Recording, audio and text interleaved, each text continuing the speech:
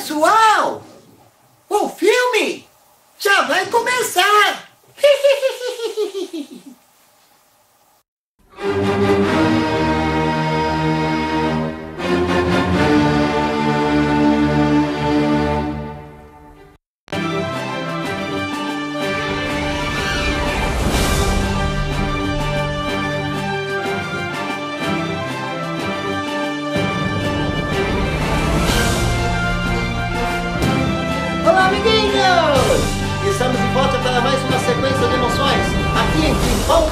Repórter. E no programa de hoje vamos mostrar uma situação diferente que são carros no cinema!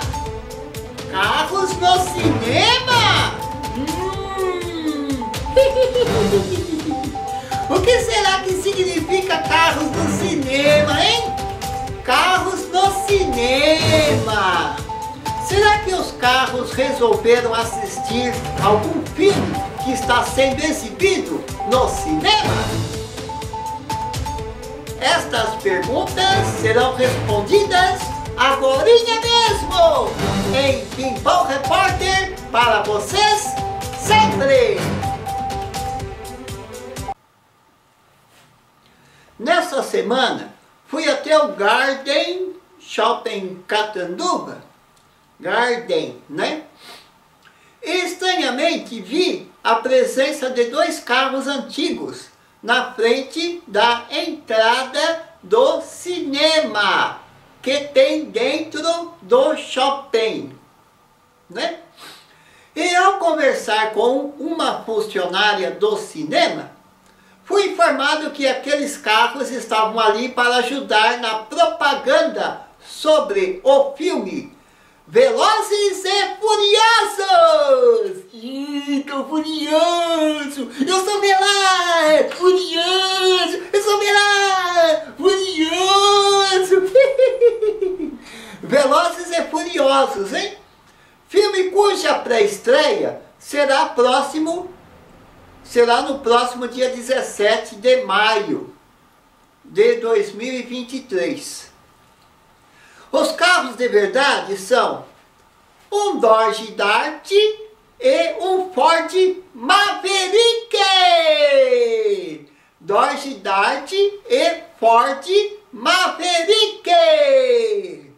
Quem ajudou em estar esses belos carros no cinema é Arca antigomobilistas da região de Catanduva, Arca, que foi iniciado e inaugurado no dia 4 de abril de 2004. Então, desde 2004, que a Arca está sendo um fator positivo e também um grande orgulho e alegria para Catanduva e região. Assim, fica aqui os meus cumprimentos cordiais e minhas máximas considerações e homenagens ao heróico e competente pessoal da Arca antigo mobilistas da região de Catanduva, do estado de São Paulo, né? Este Dodge Dart é modelo duas portas. E o Dodge também existe no modelo quatro portas. Veja os detalhes do pneu.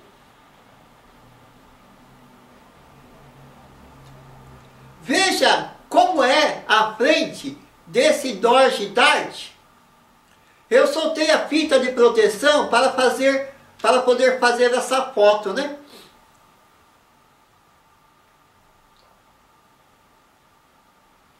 O início da indústria automobilística Dodge começou com os irmãos Dodge, que são Horace Eugene Dodge e John Francis Dodge, que decidiram usar os componentes automotivos que eles mesmos fabricavam desde 1900 para construir um carro para concorrer com o famoso Ford modelo T da Ford de Henry Ford.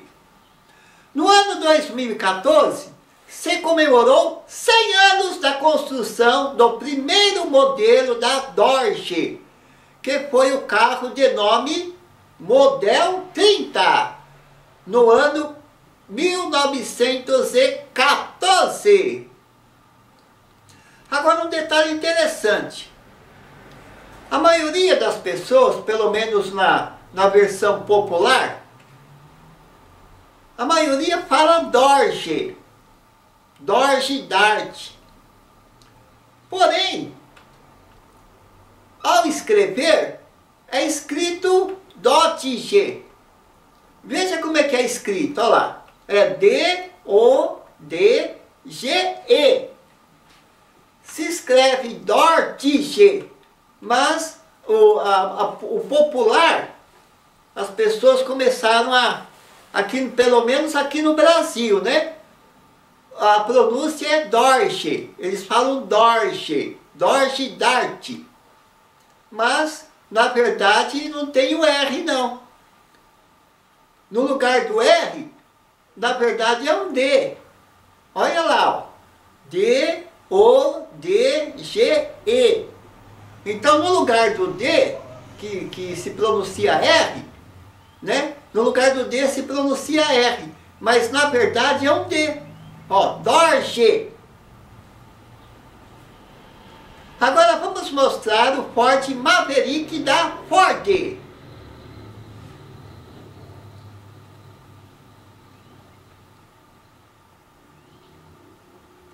Este Ford Maverick é modelo duas portas.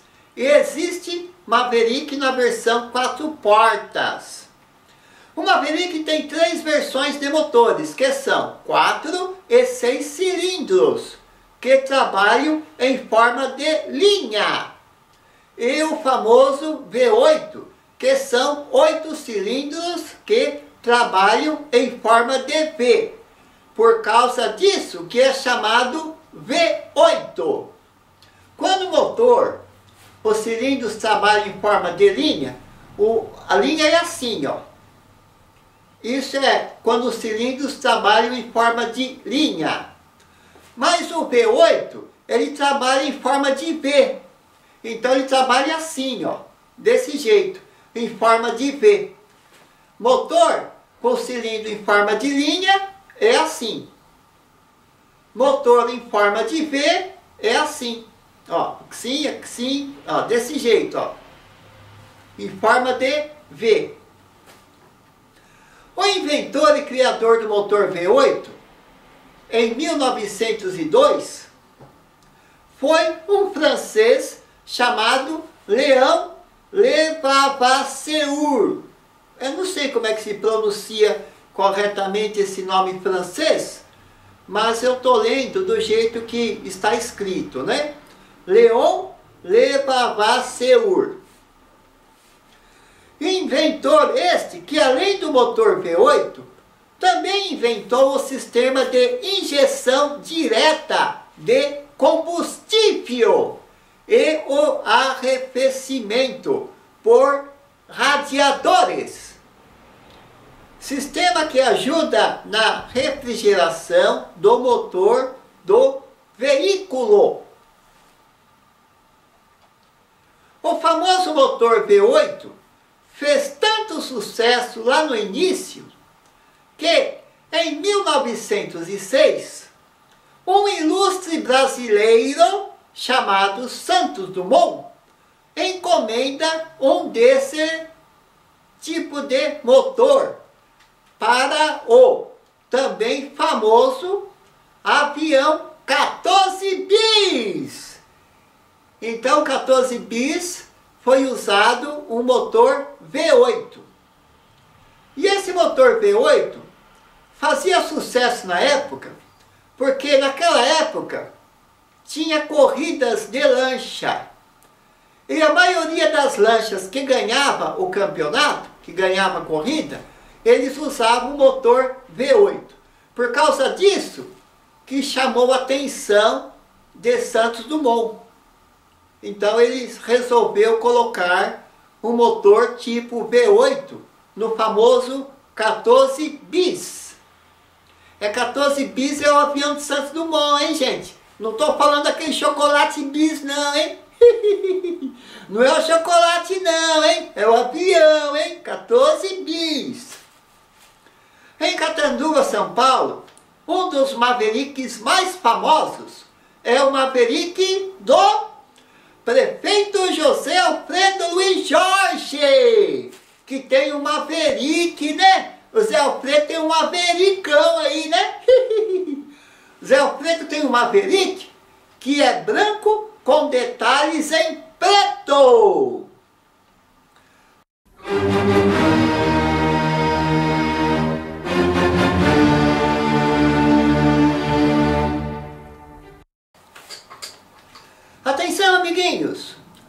Terminar o Pimpão Repórter de hoje, eu tenho que salientar que é importantíssimo que você faça uma contribuição, uma ajuda, um patrocínio de apenas um real ou mais para o Pinks, que está aparecendo aqui, né?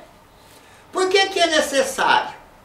Quando você faz essa contribuição mensal de apenas um real ou mais para o Pinks, além de você estar ajudando o velho palhaço aqui e os sete cachorrinhos na questão de sobrevivência, você também estará patrocinando todos os trabalhos de pimpão na internet, que são vários.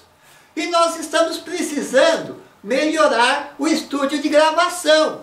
Precisamos comprar mais pano verde, precisamos comprar um notebook melhor, precisamos comprar iluminação e assim por diante. E também precisamos comprar até roupas, né? Não sei se vocês perceberam, eu, até o momento eu só estou usando esta gravata. Sabe por quê? Porque milagrosamente eu consegui comprar uma gravata. E esta é a única gravata que eu tenho até então. Porque em 2019 eu fui despejado da casa onde eu morei por mais de 13 anos e eu perdi tudo que eu tinha. Tudo foi roubado, destruído, jogado no lixo. Perdi tudo, até todas as minhas roupas. Assim, se vocês puderem ajudar, nós agradecemos com uma ajuda mensal de um real ou mais para o Pinks. Teve uma semana que o velho palhaço aqui chegou a ficar quatro dias se alimentando de chá. E teve um momento que nós conseguimos algumas bolachas. Esse velho palhaço aqui não tem aposentadoria, não tem décimo terceiro, não tem renda mensal, não tem grandes patrocinadores. Esse velho palhaço aqui, nesse momento, só tem você, com uma contribuição mensal de apenas um real ou mais. Então, amiguinhos, até o próximo programa de Pimpão Repórter para vocês sempre!